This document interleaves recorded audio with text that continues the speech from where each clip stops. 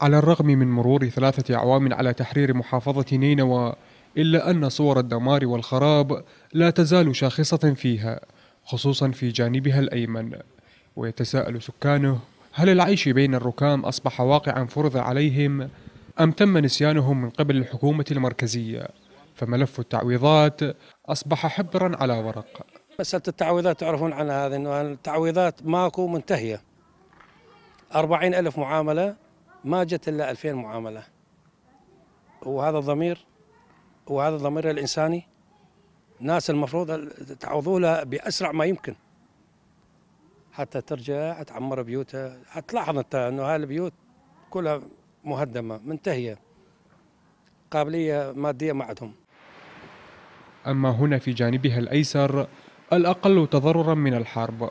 تعقد المؤتمرات فيه والمعارض تحت مسمى إعادة إعمار نينوى بمشاركة شركات محلية وأجنبية وبحضور إدارة المحافظة في محاولة للنهوض بواقع المدينة المتعب.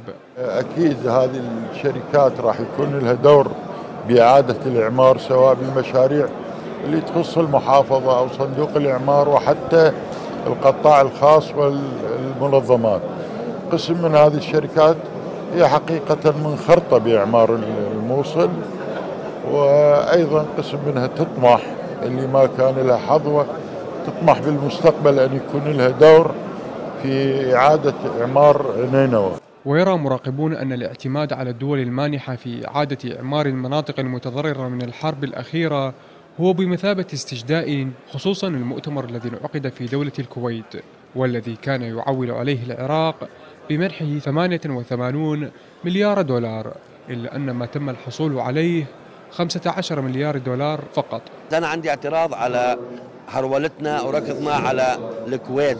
يعني أكثر من سنة صار المؤتمر ولحد الآن ما أعطونا شيء وهذا الظاهر معتبرينه أيضا حتى مو مساعدة معتبرينه قرض أنا أقول عيب على العراق دولة العراق حكومة العراق تنتظر مساعدة.